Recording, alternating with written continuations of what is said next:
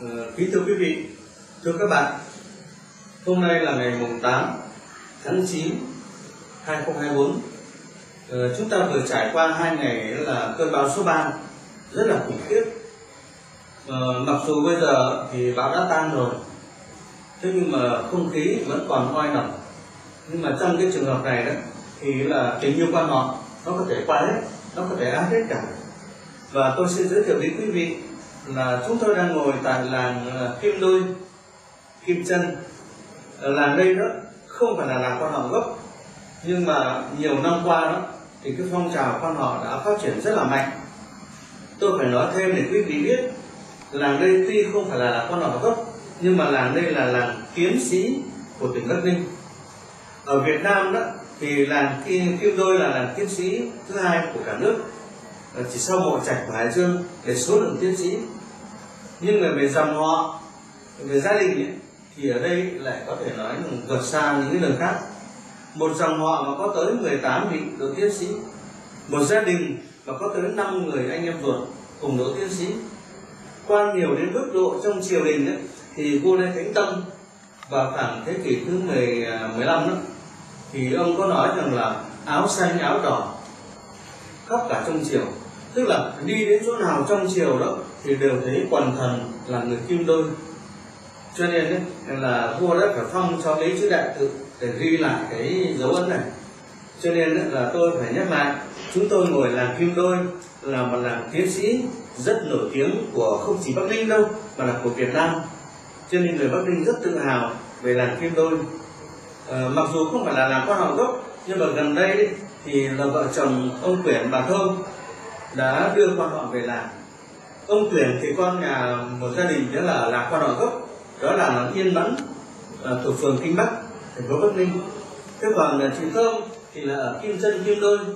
Thế nhưng mà vì hai người xe duyên với nhau cho nên là quan họ nó lây sang nhau. Là cuối cùng ấy, thì là bà thơm đã đưa quan họ về làng. Và hiện nay đấy, tôi cũng phải giới thiệu thêm là ba liền sĩ đây ở làng kim đôi. Rất rất nhiều nhưng hôm nay chúng tôi xuống đột xuất cho nên không gặp được mọi người mà chỉ có ba liệt sĩ cùng với chị thơm thôi. Cái đại diện cho quan trung đôi thế còn người cạnh tôi đây cũng là một nhân vật đặc biệt. Ờ, tôi chẳng dạy bạn nghề nào nhưng bạn vẫn gọi tôi là thầy và tôi là sư phụ. Bạn ấy thì có năm uh, tẩy quê tức là quê mẹ thì ở hưng yên quê cha thì ở bạc liêu sống tại sài gòn và bây giờ thường xuyên đi về bắc ninh. Cho nên ít nhất cũng có bốn nơi bạn đã thường đến và một năm đó thì bạn thường xuyên ra bắc ninh và hôm nay cũng là một trong ví dụ đó. À, đi du lịch cả gia đình nhưng mà chồng con thì về trước nói rằng em còn chưa biết con họ mấy ngày. Cho nên là bạn ở lại. Nhưng mà vì báo tố cho nên đó, là cũng chưa đi được nhiều. Nên là tối mùng 6 thì hát với quan họ của làng ờ, thì cầu. Thế rồi sau đó thì mùng 7 thì xuống dưới quan họ đi chung và chung thế và hôm nay mùng 8 thì xuống với quan họ kim đôi à, ờ, vậy là mặc dù mưa bão nhưng mà vẫn trong cái chuyến ờ, công tác, chuyến từ ờ, nam ra bắc thì cố gắng làm sao đó thì gặp quan họ được nhiều nhất có thể. Thế còn tôi thì với tư cách là sư phụ, cho nên là bạn với ra đình thì dù tôi có mỏi mệt, bận bịu thì tôi vẫn phải xếp. Bởi vì không mấy khi bạn ấy có rất mặt ở đất anh vì thế cho nên tôi là cái người tháp tùng để đưa bạn ấy đi gặp gỡ quan họ. Thế còn hôm nay thì xin giới thiệu với quý vị chúng tôi đang ngồi tại nhà của bà Thơm Quyển tức là quan họ liền trị thì ở trong làng đây cũng đến cùng chung vui cùng góp. Tức là đã xuống đến đây thì quan họ đi đến đâu thì cũng ca đến đó. Và nếu không ca thì cảm thấy như là còn thiếu một cái gì đó. Vì thế cho nên ấy, ở trong cái cuộc vui ca này tôi cũng muốn chia sẻ cái niềm vui của quan họ đến tất cả mọi người. Và sau đây thì à, xin mời quý vị sẽ nghe một vài bài à, trong cái cuộc gặp gỡ này. Bài thứ nhất chúng tôi muốn giới thiệu đó là bài tần tấn Xuân vầy. Uh, tần tấn Xuân vầy là một trong những bài quan trọng cổ. Đây là bài đối của bài sở cầu như ý. Nếu bên kia hát là sở cầu như ý sở nguyện tòng tâm nguyện trăm năm duyên bén sắt cầm chén son để lưu danh mãi mãi thì bên này ta đối lại rằng đó là tần tấn sung vầy. Lời của bài tấn tấn sung vầy là bài đối cho nên tôi thường thuộc bài ra còn bài đối tôi cũng ít thuộc vì thế cho nên xin phép quý vị, xin phép các bạn là cho tôi được ờ, đọc cái lời của bài đối, cho nó chính xác hơn một chút. Trăng thề còn đó, nhờ ước còn đây, nguyện trăm năm tần tấn su về ở bên kia là nguyện trăm năm duyên kén sát cầm, thì đây là nguyện trăm năm tần tấn su về trời soi xét đôi vầng nhật nguyệt, để bắt cầu ô thức sông ngân. Mái tây yên chiều hè đợi bạn, gió chiều hè dạo gót hồ sen. Nhát trông ra, thấy người quân tử, bước xuống thuyền, tay hái bông sen. Hái bông sen cắm vào bình xứ, hương ngạt ngào tỏa khắp phòng văn. Khách chi âm gặp người quân tử, gặp người tài tử, đạo sướng tùy, thi lý ưu duyên. Hỡi đôi ba người, tần tật xung vầy và bài kia là hỡi đôi ba người đợi đến bao giờ thế thì ở đây là hỡi đôi ba người tầm tấn xung vầy thế còn trong này đấy nó có rất nhiều những cái từ mà chắc chắn là ngay cả các địa chị hát đó, thì có khi chưa chắc đã hiểu. Cho nên lát nữa sau khi hát xong tôi sẽ xin ít thời gian tôi phân tích để cho điền chị hiểu và những người nghe cũng hiểu. Tôi lấy ví dụ như là tầm tấn sung về khách chi âm tất cả những thứ đó đều là những cái ký hiệu thẩm mỹ mà muốn hiểu nó thì phải cần giải mã. Thế còn bây giờ trước khi là tìm hiểu kỹ hơn thì mời quý vị à, và các đồng chị chúng ta cùng nghe một quan họ nam một quan họ bắc à, ca với nhau. Và tôi cũng phải nói thêm mặc dù là dài lời ờ, vì hai người này đó là năm thậm chí có khi mấy năm mới gặp. Cho nên cái thời gian mà hát để mà tập luyện với nhau đó, là không có. Vì thế mà trong quá trình hát ấy, thì cái sự mà ăn ý cái sự mà đều ấy, thì so với quan họ truyền thống của ngoài bắc ninh ấy, thì hai chị hát còn chưa chưa sánh bằng. Thế nhưng mà ở đây chúng ta nhận một cái tấm lòng tức là quan họ nam quan họ bắc trong những cái ngày mưa gió thế này bão tố như thế này mà vẫn tìm đến nhau ca. Tôi gọi vui đây là quan họ bão. Là bây giờ thì xin mời các anh chị ờ, đến với một chương trình quan họ bão. Trăng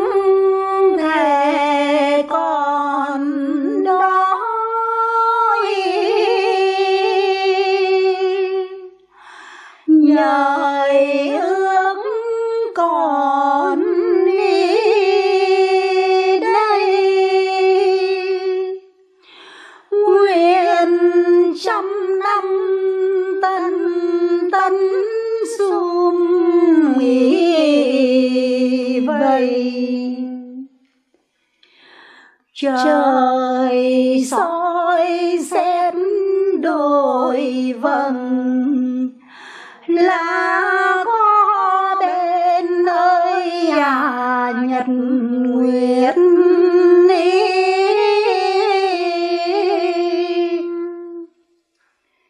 để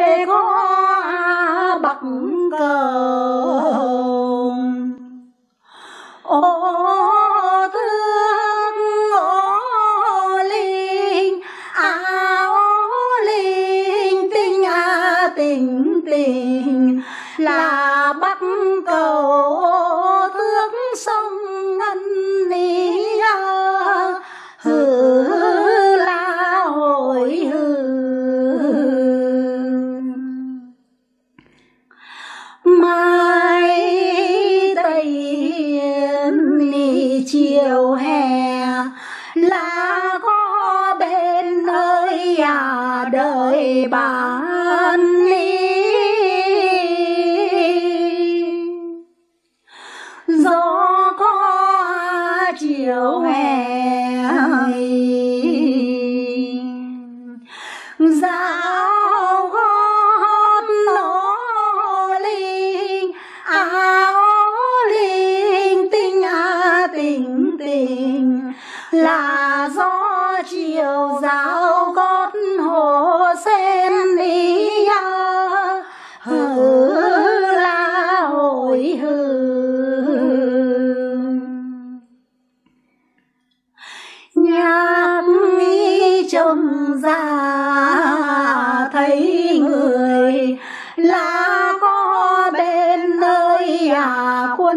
quân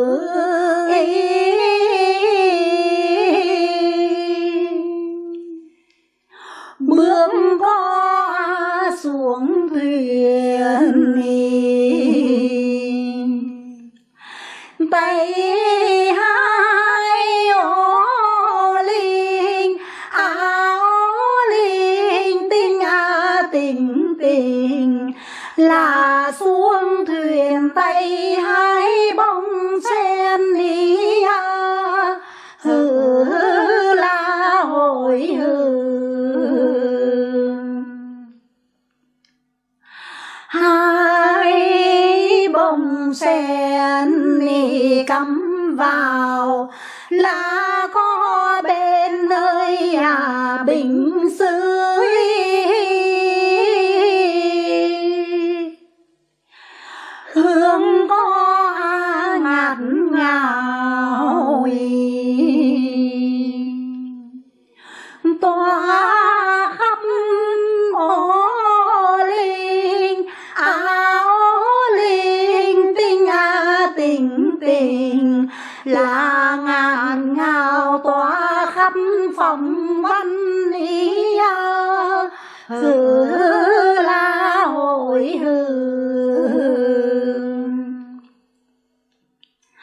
khách chi âm gặp người. Là có bên nơi à tài tử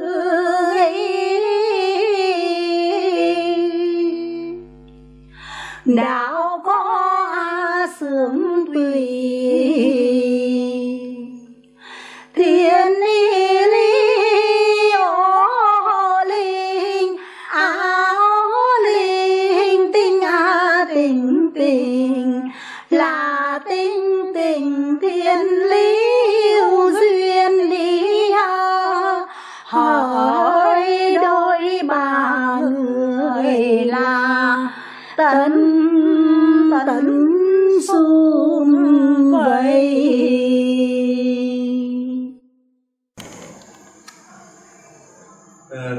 vị, ờ, thưa các đồng chí quan họ, chúng ta vừa nghe cái bài ờ, tần tấn xung bày cho một liền trị Nam, một liền trị Bắc cùng ca.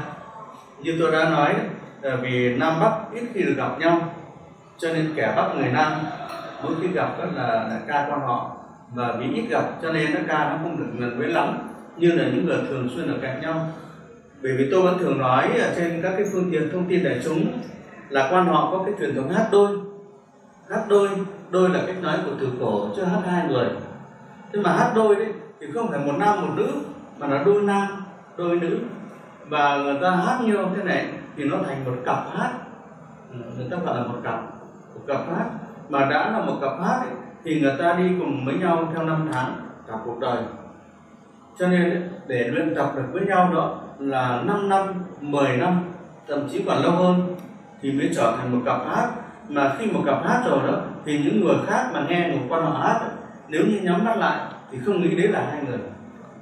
Tức là cái sự ăn ý đều đặn, tức là kể cả trong đó răng rèn đèn này là nó hòa quyện với nhau.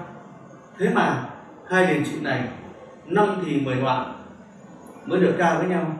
Cho nên chúng ta không ngạc nhiên thì nếu như mà hai đền trị ca còn có một phần nào đó chưa thật tròn trịa, đấy là tôi nói trước để cho quý vị ờ, không lại phê phán là hai điển trí quan họ hát tưởng là đều thế nào quá cho chưa đều lắm. Thế thì để đều đó là phải 5 năm 10 năm thường xuyên ở cạnh nhau thì mới đều được. Nhưng mà các điển chỉ thì ít có điều kiện. Cho nên trước khi tôi nói phân tích về các điển cố. Thế còn phần thứ hai tôi muốn nói là hầu hết những bài dân ca quan họ, nó không sống như những bài dân ca Việt Nam còn lại. Tôi vẫn thường nói ờ, chị đây cũng là một trong những người đọc sách nhiều cũng ờ, có hiểu ít nhiều. Bạn này thì khỏi phải nói. Thế còn các liền trị đơn giản chỉ là những liền trị hát thôi. Thì tôi bảo thêm này. Tôi có hỏi một số người tại sao ở Việt Nam có mấy chục loại dân ca mà UNESCO lại vinh danh quan họ là đầu tiên? Tôi xin lỗi hỏi điều này thì có rất nhiều người, trong đó kể cả những liền anh liền chị đi hát quan họ chưa chắc là trả lời được. Lý do gì? Lý do đơn giản là dân ca quan họ hơn tất cả những dân ca còn lại. Ở trong đó là gì nó vừa có cái tính bác học, nó lại vừa có cái tính dân gian. Tính bác học tức là nó rất nhiều chữ nghĩa ở trong đó. Còn tính dân gian tức là nó rất đơn giản, dễ hiểu. Nó có một cái gì đó nó nhưng của dân mà, cho nên nó rất là dễ hiểu. Ví dụ như gặp đêm mận mới hỏi đào, vườn hồng đã có ai vào hay chưa? Mận hỏi thì đào xin thưa, vườn hồng có lối nhưng chưa ai vào. Thế nhưng mà quan họ thì không thế anh hùng sánh gái thuyền quyên phỉ nguyện sánh phượng đẹp duyên châu trần. Tức là cứ mở miệng ra hát là toàn điển cố điển tích thôi.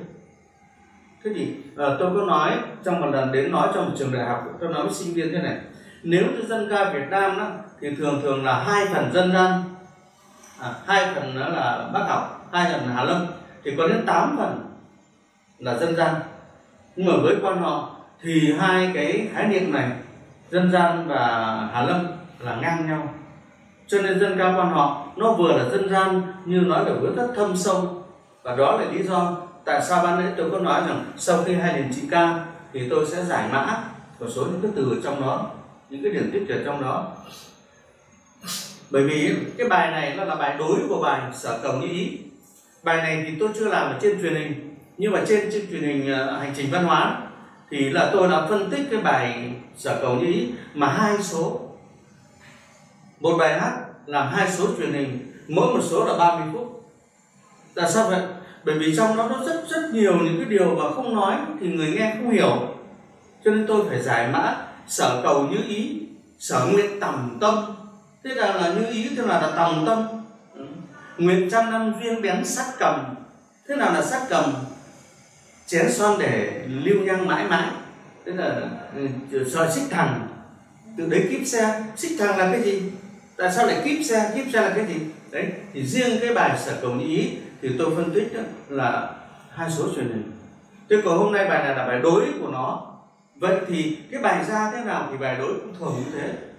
Cho nên bài kia 10 thì bài này cũng 8 tức là nói về cái độ uyên thâm nói về cái độ sâu sắc, thì bài tần tấn xung về như hôm trước tôi đã nói trong cái sân chơi mà quan họ đêm rằm giữa quan họ của làng ta là kim đôi hát với làng quan họ của trên uh, đáp đầu thì tôi cũng có nói với hôm đó có rất nhiều các vị khách của của, của thành phố cả à, thành ủy cả ủy ban rồi cả tuyên giáo cả văn hóa là người dùng thế thì tôi có nói là quan họ khó hiểu lắm các vị ạ.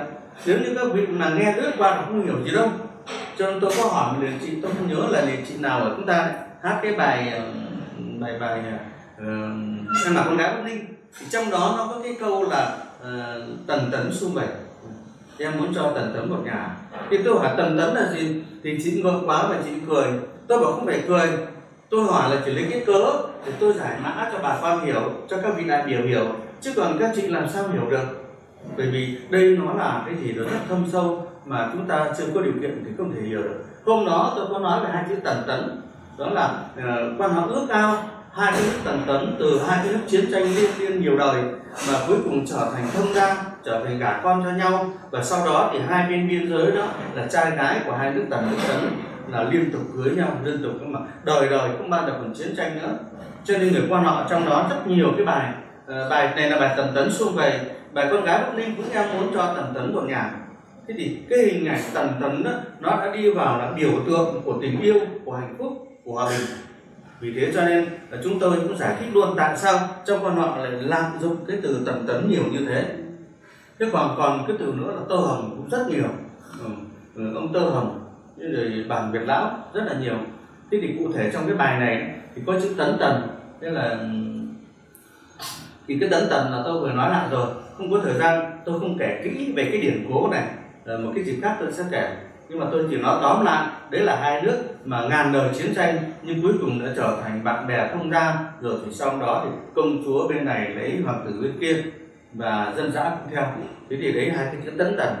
Thế còn ở đây trăng thề còn đó nhờ nước còn đây. Thế và cuối cùng là uh, nguyệt có đôi bằng nhật nguyệt. Thế là thế nào? Ngày xưa đó tất cả cái đôi trai gái mà người ta thấy yêu nhau đó kể cả bạn cũng lưu ý là thường người ta mượn cái vầng nhật nguyệt ra để làm làm chứng ờ, em thề qua ngọn đèn em không nói dối bác. Thế rồi thì ờ, thề với đôi vầng nhật nguyệt chúng tôi nguyện yêu nhau đến trọn đời. Cho nên cái vầng nhật nguyệt đấy nó giống như là một cái ờ, vị làm chứng chứng giám cho nên muốn người ta tin thì phải mang đôi vầng nhật nguyệt ra. Mà thề cho nên cái đôi trai gái này đã chắp tay thề dưới đôi vầng nhật nguyệt là chúng tôi nguyện kết đắc xe tơ trong năm thần tấn xuân bảy thế thì ở đây tôi giải thích là trăng thề còn đó nhờ ước còn đây. Lời thề còn đó không thể phụ nhau được. Cho nên ở đây người ta mượn cái vầng nhật nguyệt uh, nhật là mặt trời còn nguyệt là trăng. Tôi nguyện có trời đất nguyện có là nhật nguyệt. Chúng tôi là sống với nhau trọn đời đến đầu bạc năm năm thế thì đấy là cái cái câu mở đầu đó là trăng thề còn đó nhờ nước còn đây rồi tần tấn xung về và cái câu này nó để ờ, uh, ô thước bắc cầu sông ngân. Thế thì ở đây cũng là một cái câu chuyện rất hay. Hàng năm đấy chúng ta thấy những cái tháng 7 âm lịch là trời mưa sụt sùi các cụ mà mưa thối đất thốt cát tức là mưa liên miên cứ hết trận này đến trận kia. Thế thì ngày xưa tôi bé thì u tôi bảo thế này không phải mưa đâu con ạ. Và thế không phải mưa là cái gì? Nước mắt ở trên trời nước mắt của ông ngô bà ngâu đấy. Thế thì mình mới hỏi thế ông ngô bà ngâu là ai mà sao lại có nước mắt nhiều thế? Nên là, là cả tháng ừ, nước mắt nhỏ. Thế thì là u tôi cứ kể chuyện uh, chuyện xưa kể rằng là uh, chức nữ là một nàng tiên ngưu lang là một chàng chăn trâu.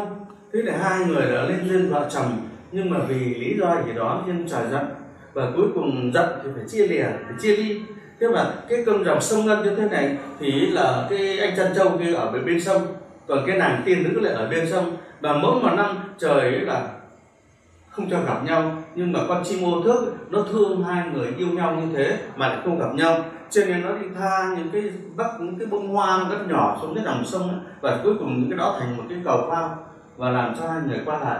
Thế cho nên cứ mỗi một năm đó thì cái tháng 7 đó là hai người gặp nhau cứ rồi họ ôm nhau và khóc và nước mắt tràn xuống cả trần gian. Ngày nay người ta bảo chơi đấy không phải sông ngân chẳng có gì cả. Tự nhiên tất cả những cái mơ ước những cái tuyệt vời ấy bây giờ không còn nữa.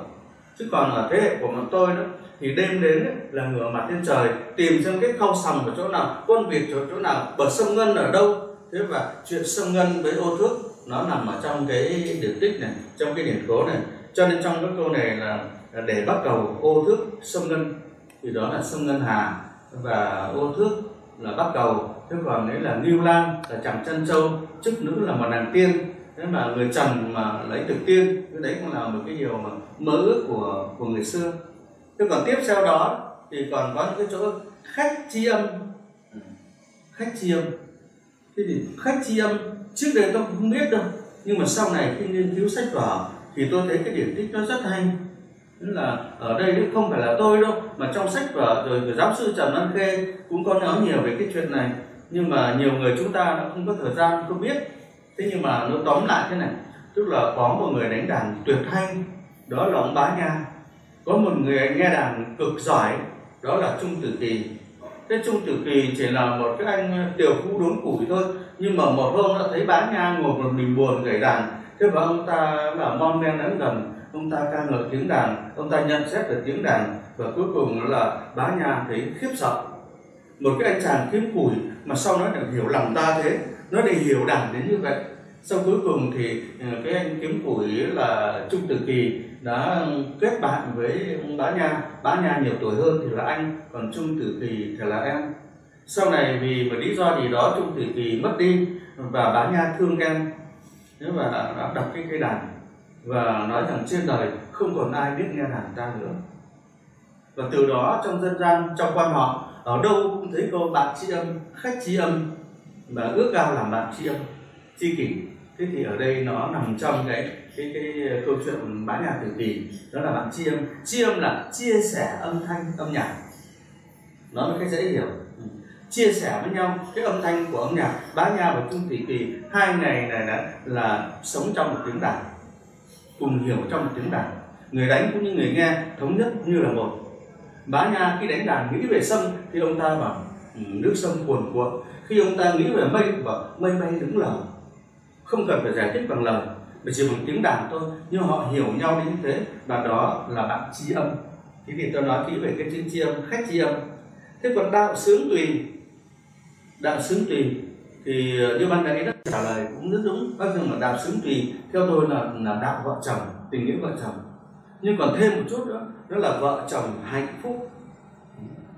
Phu sướng phụ tùy. Đạo xứng tùy là phu sướng phụ tùy. Tức là uh, chồng nói cái nào đấy thì vợ theo cái đó. Tức là rất là ăn ý chứ không phải cái dạng mà chồng nói vợ cãi. Thì ở đây là ý muốn nói là rất tâm đầu ý hợp. Như là phu sướng thì phụ tùy tức là vợ chồng ấy là rất là hợp ý ăn ăn xăm với nhau. Khi nói cái gì, làm cái gì đều tâm đầu ý hợp. Cho nên người ta mới nói là thuận vợ, thuận chồng, tát biển đông cũng cạn chính là phu sướng phụ tùy. Đấy, thì trong này chúng ta có phu sướng phụ tùy, nhưng tôi dám chắc rằng là các chị chưa hiểu. Có đúng không thì đấy, thì tôi giải thích mượn cái cớ này để tôi giải thích phu sướng phụ tùy. Còn một thứ nữa, cuối cùng, tất nhiên còn hai, ba cái nữa nhưng không có thời gian, tôi giải thích một cái quan trọng nữa. Đó là thiên lý hữu duyên. Thiên lý hữu duyên câu cuối cùng đấy. Ừ.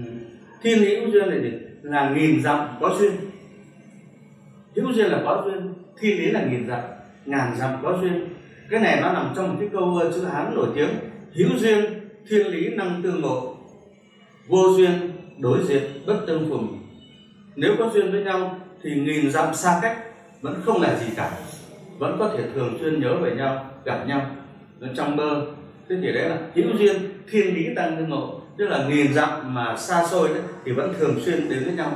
Còn vô duyên tức là không có duyên đối duyên bất tương phùng. Ví dụ như tôi với các chị trạng này ghét nhau thì có ngồi trước mặt nhau chả để ý nhau. Không quan tâm. Cho nên hữu diện uh, à, vô duyên đối diện nhưng mà bất tương phùng không thể là bạn được. Cho nên ở trong cuộc sống này chúng ta thấy có rất nhiều những trường hợp là có những người rất xa gần thì chả bén duyên cho mà xa xôi cách mấy lần đò cũng đi. Có những người ở cách xa nữa nhưng mà ta lại cứ nhớ ta lại cứ yêu ta lại cứ mong chờ. Trong khi đó có bao người ở cạnh ta xung quanh ta nhưng ta chả quan tâm chả để ý gì. Đó là vì chúng ta không có duyên. Còn cái người xa nghiệp ta có duyên. Cho nên ấy, ở đây là cái, cái câu ở trong này các kiểu nói thiên lý của duyên chỉ có bốn chữ thôi. Nhưng mà ờ, tôi giải mã ra hơi dài một chút để chúng ta cùng hiểu là hữu duyên thiên lý năng tương ngộ vô duyên đối diện bất tương phùng và đấy chỉ là một bài đối của bài sở cầu như ý thôi. Mà hôm nay tôi đã bắn tắt. Chứ nếu có điều kiện thì chắc tôi cũng làm hai số truyền hình. Bởi vì trong này còn rất rất nhiều điều mà mà tôi chưa nói được. Thế nhưng mà trong cái chương trình này, trong cái thời lượng này thì cũng nói như vậy để quý vị và các bạn xem đài. Ờ, nếu như ai đã biết rồi thì chúng ta cùng nhớ lại. Còn nếu ai chưa biết thì chúng ta hãy biết thêm một chút. Xin cảm ơn rất nhiều.